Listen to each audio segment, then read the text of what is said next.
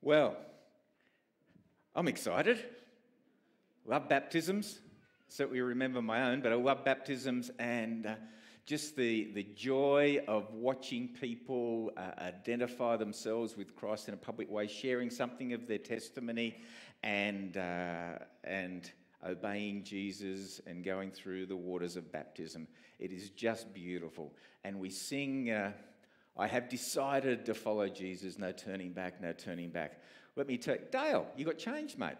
If anybody wants to get baptized, you know, after the sermon, Dale is ready to go again. Okay? So seriously, well, you know, I don't know if he is or not, I didn't ask him. But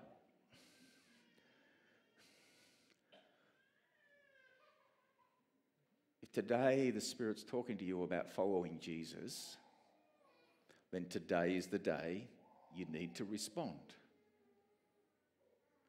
If part of that is giving your life to Christ, then today is the day you need to respond.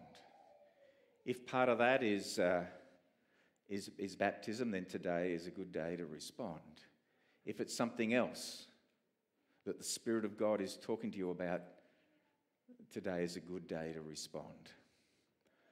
Uh, it's like I, I looked over this direction as we were singing that last song and here is little Pippa sitting on, lying on a mum's lap, uh, like singing these words so beautifully out loud. And guess what? Unlike me and you, she doesn't need to look at the screen. Whether she can read it, I don't know, but probably can. But it's like she knows the words. And, and, and the, uh, the look on her face was like, I not only know these words, these words are meaningful to me. We need to come to Jesus as little children. Sometimes I think we can uh, come to Jesus um, a bit like, a bit like anyone ever heard of the term Facebook Pharisee? That's good because I made it up. I, I, I, I, thought someone might have made it up before me, I don't know. But it's like Facebook Pharisee. It's like, it's, it's, it's not the only place, I'm sure, but it's, it's one of the places where you can shame people and put forward information that is just trash. And, and, but also when we, you have discussions about stuff, people like shame people and, and ridicule the person more than the idea. And, and people spread stuff. It's like, it's a bit like COVID. It, it, like it, it spreads, it gets contagious, and it seems to go from one to the other to the other to the other. I, uh, I happened to notice yesterday a thing on Facebook. I if anyone's put it up here, that's all right, sorry. Um, I don't know who it came from, can't remember.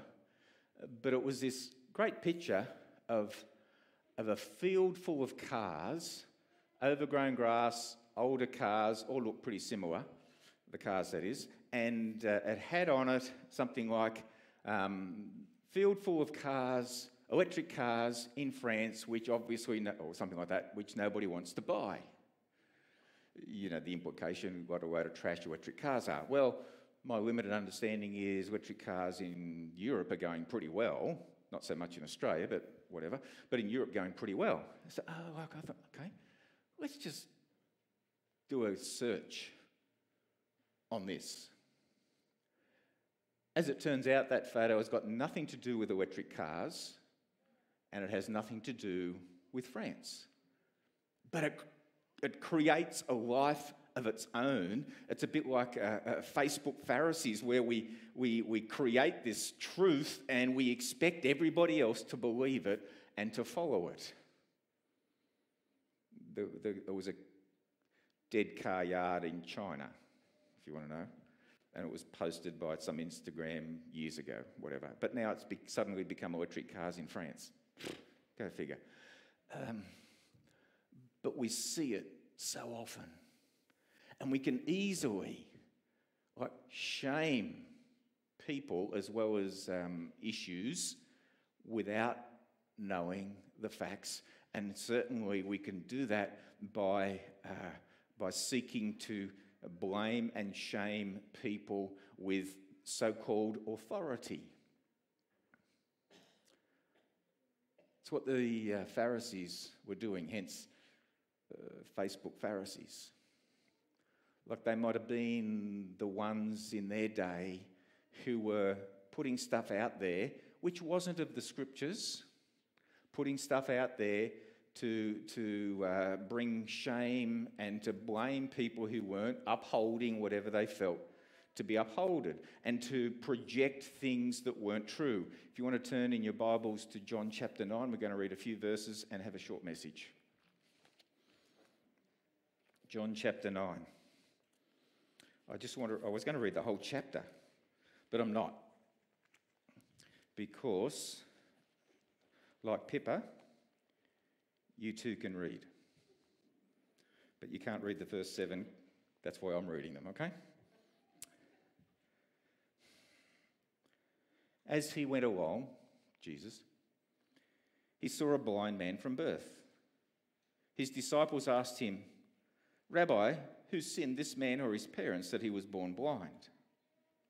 Neither this man nor his parents sinned, Jesus said. But this happened so that the works of God might be displayed in him. As long as it is day, we must do the works of God, uh, of him who sent me. Night is coming when no one can work. I am the light of the world. I am the light in the world, sorry, and I am the light of the world. After saying this, he spit on the ground, made some mud with the saliva, and put it on the man's eyes. Go, he told him, wash in the pool of Siloam. This word means sent. So the man went and washed and came home seeing.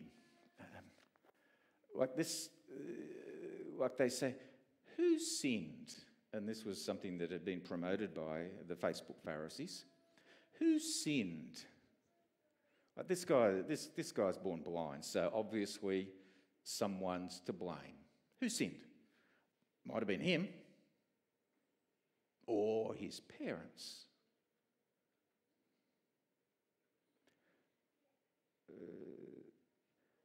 the, the message translation or Bible um, sometimes really good, sometimes probably not. It's not a translation as such, it's a bit of a paraphrase. But I love the way it paraphrases uh, verse 3, etc. He says, You're asking the wrong question.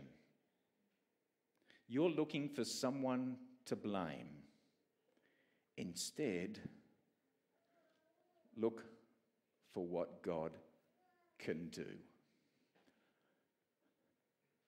And I think, wow, that just expresses it so well, and I think grabs the essence of what the NIV said when I read that. It's like, uh, you know, who's to blame? You know, he or his, his parents?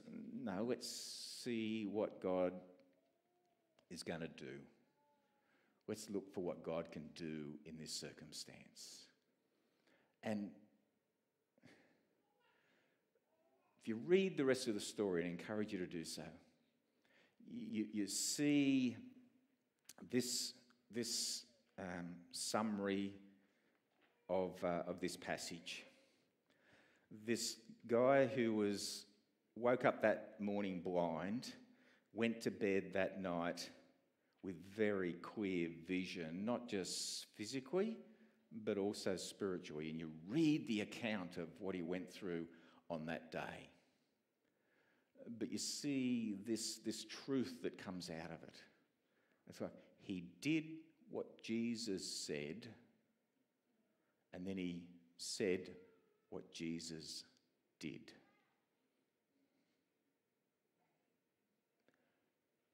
And we've had Rachel and Lauren and Stephen come up here today. Always, you know, if you get into even more detail, no doubt, very, very different testimonies. And we could go around this room and, and, uh, and share some testimonies of our lives, I'm sure, and all probably very different. But we, but we need to ensure that we do as Jesus said. Uh, these three up here talking about how they, how they gave their life to Jesus. Jesus calls us. He told his disciples, and going down to us, go and make other disciples. And he calls us to, in repentance and faith, follow him. And so we see uh, Rachel and uh, Lauren and Stephen do that. And we see something of today, not only that they, they shared today of what God did, like how He's impacted their life, how He's changed their life, and what He's doing in their life, and expect Him to do in the future, and how they're going to continue to obey and submit and serve. And that's all what this beggar who was blind, who could now see. It's like he did what Jesus said, and then he said what Jesus did. I can imagine, not being blind maybe, but it's like this, this person comes up to you, spits in the dirt, wants to mix it up and stick it on your eyes like I, you might tell them where they could, what they could do with it.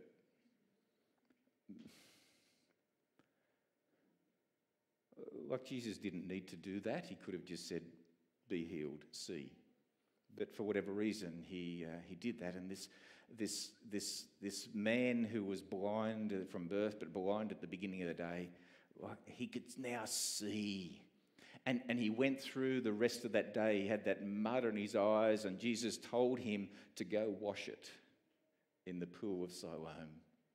And he did, and he could see. We ha- often see that with Jesus, that he uh, will, will tell people to go and do something. Remember the 10 lepers? Uh, you know, they eventually got up the courage. I think, what, what we got to lose? Jesus, help us. And he said, Go and talk to the, the guys down at the temple. It's like, Oh, yeah, big deal. Um, that was certainly the people who had the authority to declare you not having leprosy anymore. But it's like, well, you know, you could have healed us.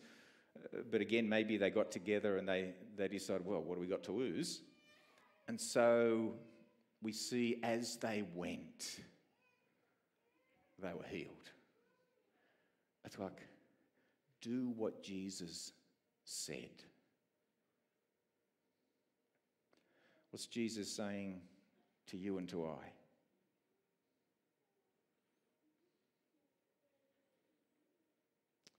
Like we have this statement we use more people, more like Jesus. We've seen something of that here today, like the outward expression of it. We have this, hate to tell you, but we have this like goal of how many baptisms we're going to have this year. Well, we've finally started haven't quite got to the goal yet, but you know, uh, you know, it's, it's like it's an identifying and it's a measurable thing of like more people becoming more like Jesus.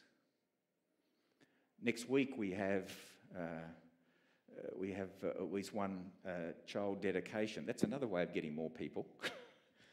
Uh, and we have a child dedication but we also have the commissioning of Angela and Andrew, and encourage you to be here for, for those uh, couple of events. It's like, because we're with Andrew and uh, it's like part of our, our planning more people more like Jesus. Like we see the result, but also we're sort of we're stepping forward in faith and expanding the role that Alison's being fulfilled, uh, fulfilling that role, but also creating new ones. Better than expanding, creating new ones as well so that we're planning more people more like Jesus. What's God asking you to do?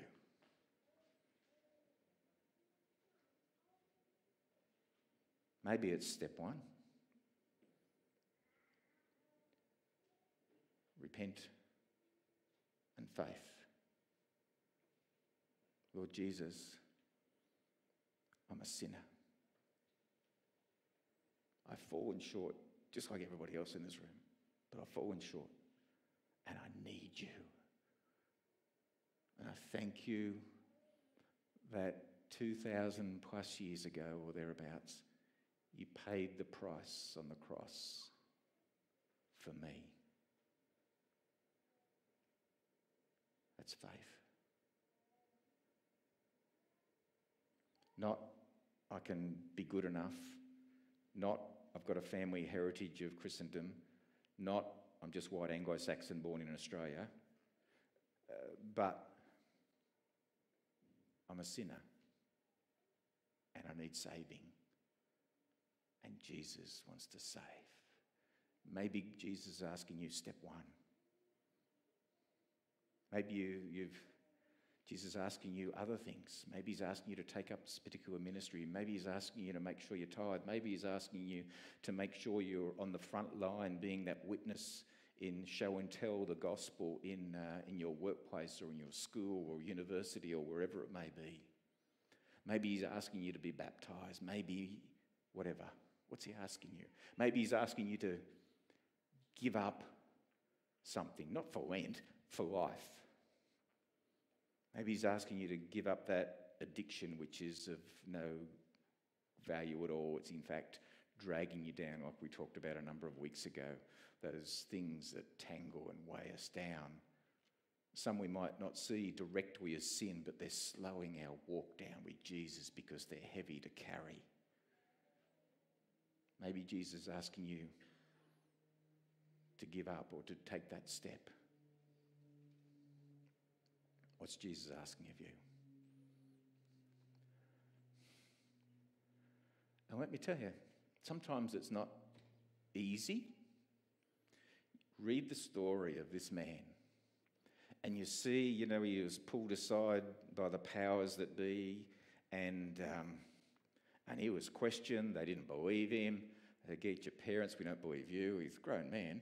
Get your parents, we don't believe you, blah, blah, blah, blah. And, and then he came, and his parents came, and, and there was this, this pushback. He was, he was bullied, we'd probably put it in today's terms. He was bullied by these people in authority, and yet what did he do? Initially, he did what Jesus said, and then he just said what Jesus did.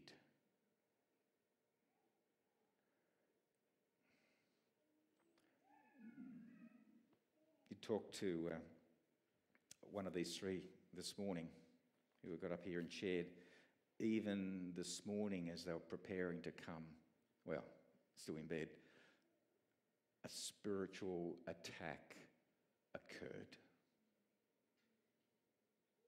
There's pushback, like this blind beggar who was now seeing, but there was pushback. There was, there was the, the, um, the bullying, there was the spiritual warfare that goes on.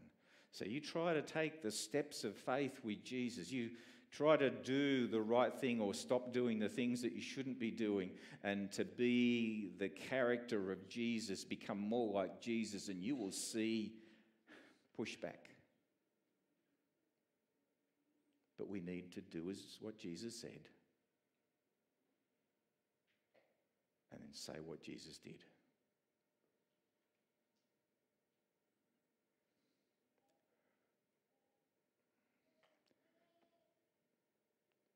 Look, it sounds so simple. But sometimes it's difficult when you have uh, pushback from family, pushback from workmates, pushback from friends. Not easy. I can remember soon after becoming a Christian, I was uh, sharing a, a unit in Sydney. Just moved to Sydney after I became a Christian and began by sharing a unit with my best friend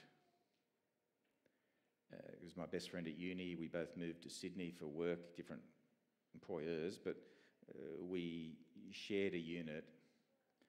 And and it's like I didn't remember this, but it's like did what Jesus said. Now I've got to say what Jesus did. So I shared with him uh, my faith.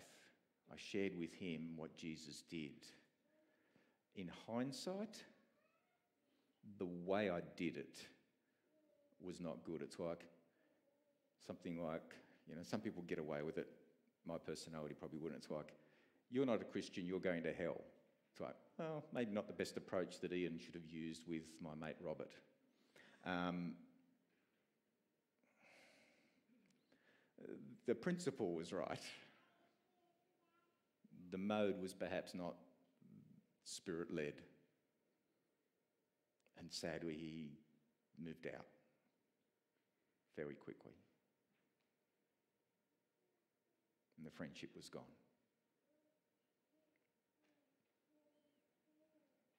Do we need to be seeking the Spirit in, in saying what he did? Certainly, this, this chap in this passage of uh, John chapter 9, um, he, he was confronted by the powers that be, and he shared what Jesus did, and, and they became angry. Apart from bullying, they became angry. They, uh, they said, What would you know? You're just a blind beggar. We are a disciple of Moses, after all. Well, I think about that and I think, um, I'm not sure Moses ever asked for disciples. He pointed people to God. Um, I do know Moses listened to God, but if you read the Gospels, interesting, God listened to Jesus. So who do you follow? You follow Jesus, God in the flesh. And in our relationships, um, uh, we need to be like Jesus said, I am the light of the world here. It's like he's, he's shining a torch on relationships. He's shining a torch into the darkness of the world. And he calls us also, he says, You are the light of the world. It's like we need to be speaking truth into situations, truth into relationships, truth into issues. Sadly, you know, you know, I'm no expert and and I don't know truth about a lot of the issues going on in the world. And truth be known, you aren't either. But we share um, things that maybe, uh, you know, we've just picked up from somewhere or we, we, we believe because we get fed what we believe. Be careful. But when there's things of the scriptures, we, we have a great test and we need to be the light in the darkness, in relationships, and in other situations in the world, where we can be that light and we can share truth. And when we share truth, we need to remember we do what Jesus said, and then we watch him work. We invite Jesus to do something in terms of the message. What did it say? Instead, look for what God can do, and then we share what Jesus did. Let's pray.